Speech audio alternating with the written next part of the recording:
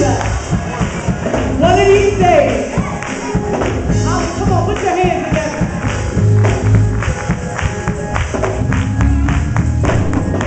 I'm that